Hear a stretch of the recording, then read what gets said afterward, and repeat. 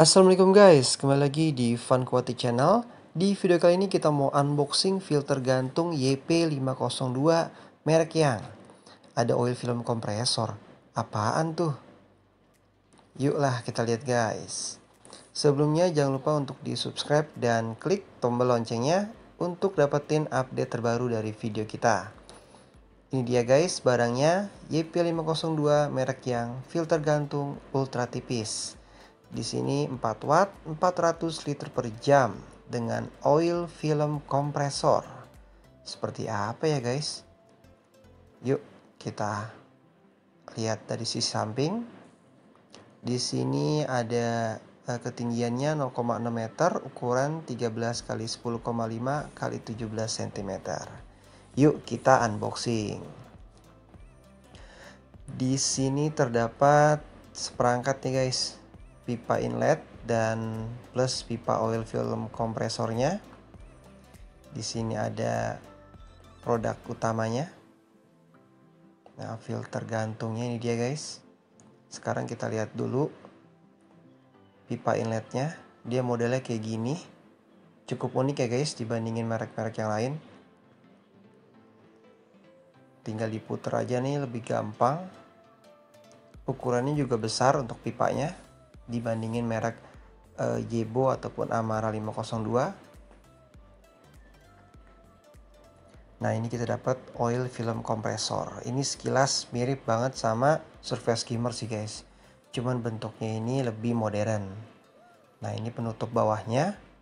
Kita pasang di sini. Lalu ini pengatur untuk kerataan dari filter hang onnya nah ini apa ya guys? Saya juga bingung Ntar kita lihat saja nanti. Nah ini penutup untuk pipanya.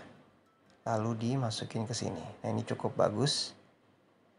Nah ini karena ada dratnya nggak bisa dibuka, nggak bisa digerak-gerakin. Cukup bagus jadi membuat ini semakin rata. Nah ini kita bingung taruh di mana.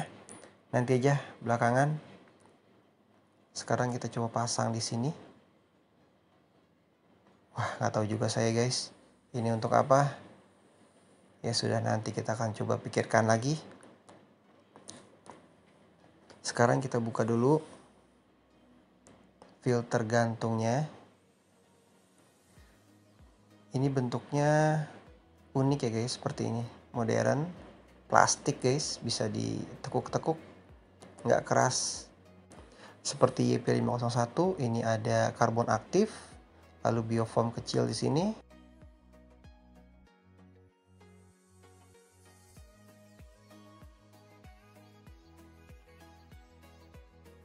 ini buatan Cina guys.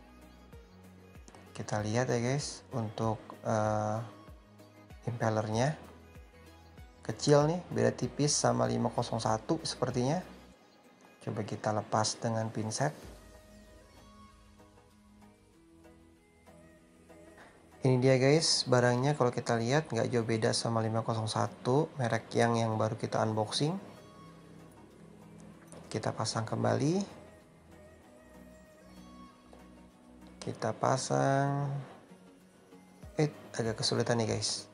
Salah nih. Sepertinya masuknya dari kanan ke kiri guys. Kita putar. Ini terus ke kiri. Oke guys. Cukup slim sih guys eh. untuk ukuran 502 ini. Nah sini ada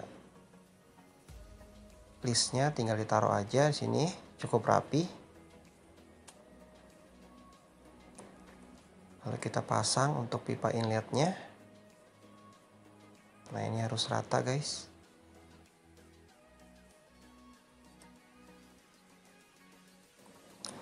Oke pasangnya coba kita ratakan. Masalah guys sepertinya kurang rata. Kita pasang lagi guys.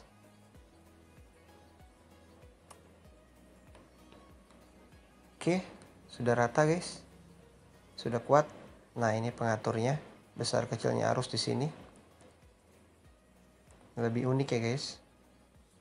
Nah ini adalah untuk pengatur kerataan dari filter akuarium ini guys. Kalau kita lihat sepertinya salah guys untuk pipa oil film kompresornya. Jadi ini sepertinya pipanya terbalik. Masangnya nggak di situ. Untuk filter penyaring bawahnya di sini. Lalu oil filternya tuh di sini guys. Oke. Nah yang saya bingung ini tuh untuk apa ya guys? Untuk ini kah nutup? Gak juga. Gak bisa. Oh. Sepertinya tidak bisa seperti ini guys, tidak mungkin. Daripada kita pusing pikirin dop ini, lebih baik kita pasang terlebih dahulu guys. Untuk pipa inletnya seperti ini guys, jadi cukup panjang ya guys. Dan oil film kompresornya juga ukurannya lumayan panjang. Jadi cocok banget untuk akuarium ukuran 40 sampai 60 cm yang slim. Seperti ini guys tampilannya. Cukup bagus. Nah, ini untuk dopnya ini. Nah, ternyata di sini guys, di antara pipa inlet dan pipa oil filter kompresornya. Nah, penutupnya seperti ini.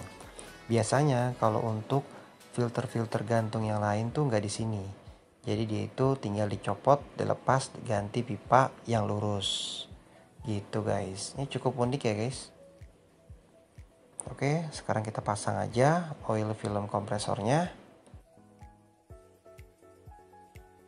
Nanti kita akan coba praktikan di akuarium 60 tapi ini bukan 60 yang slim tapi coba kita untuk tes seberapa besar arusnya. Apakah sama dengan filter 502 lainnya guys?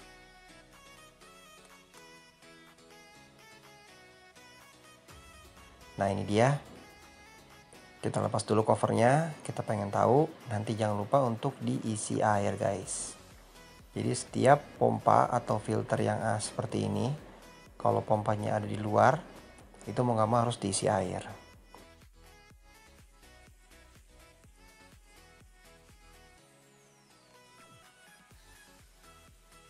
Sekarang kita isi air pelan-pelan.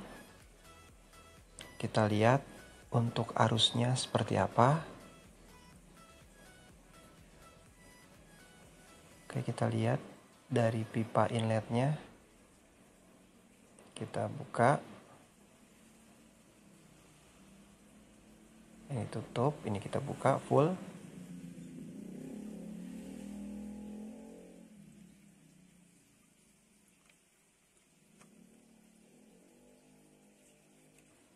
untuk naik ke atas nih pipanya agak lama ya guys pertama memang kondisi untuk air tidak terlalu tinggi. Jadi dia tuh naiknya pelan-pelan nih guys. Nah ini nanti kita turunin ke bawah. Kita coba dulu untuk lihat pipanya naik gitu ya untuk posisi air yang seperti ini. Biasanya pipa, uh, airnya lebih tinggi gitu ya. Ini kita coba untuk airnya seperti ini apakah dia naik atau enggak ini coba kita turunin untuk oil film kompresornya. Nah. Nah bergerak ya guys. Cukup bagus gerakannya. Nah ini pelan-pelan sudah mulai naik nih guys untuk airnya. Jadi untuk posisi air seperti ini levelnya nggak terlalu penuh. Filter ini agak lama ya guys tidak seperti merek uh, Jebo ataupun Amara. Nah kita lihat arus fullnya. Nah ini mau full guys. Untuk naik ke permukaan ya sekitar 15 detikan. Nah seperti ini arusnya guys. Jadi harusnya nggak terlalu deras banget seperti Jebo 502 tapi untuk mengenai uh, hampir ke dasar pun kena sih guys.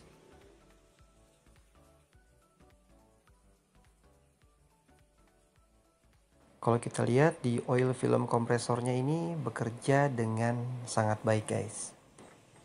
Nah ini adalah pengatur besar kecilnya arus kecil seperti ini. Kita besarin lagi guys.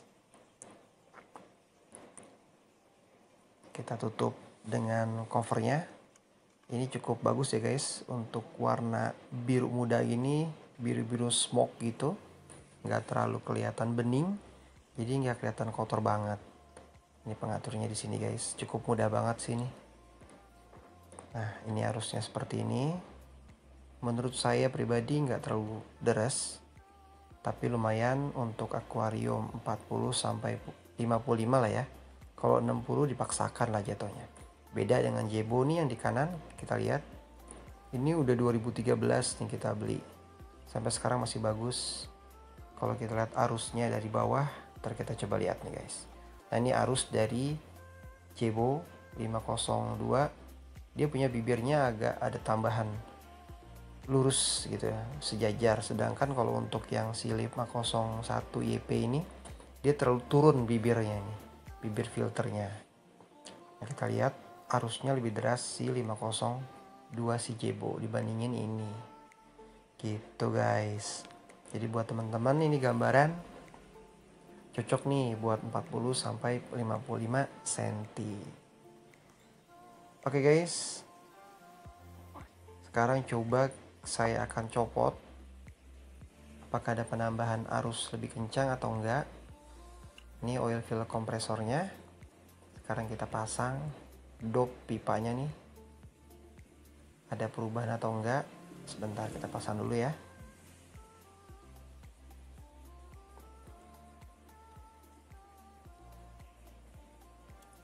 Sepertinya sama aja guys.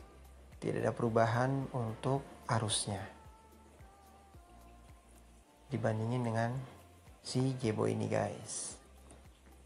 Oke mungkin itu aja guys unboxing dan review singkat dari saya untuk 502 ini Ultra Thin.